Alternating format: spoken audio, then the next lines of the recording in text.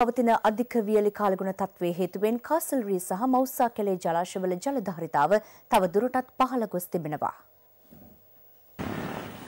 කාසල්රේ ජලාශයේ සමස්ත ජලධාරිතාව අක්කරටි දහනමදාස් එකසියක් පමණ වන අතර එය මේ වන විට සියට විසිහය දශම හතරක් දක්වා පහළ ගොස් තිබෙනවා. අක්කරාඩි අනුතුන්දහසක් පමණ වන මෞස්සා කැලේ ජලාශය ජලධාරිතාව සියට විසිහය දශම හතරක් දක්වා පහළ ගොස් ඇති බව විදුලි බල මණ්ඩලය පවසනවා. ජලාශ දෙකේම ජලධාරිතාව පහළයාම හේතුවෙන් එම ජලාශවල දූපත් රසක් සහ ජලාශ ඉදිකිරීමේදී යට වූ නටබුන් රසක්ද මේ වන විට මතුවී ඇති අයුරුීමේ පවතින වියලි කාලගුණ තත්ත්වය හමුවේ අදාළ ජලාශවලින් විදුලි බල නිෂ්පාදනයද අඩුවමින් පවතිනවා.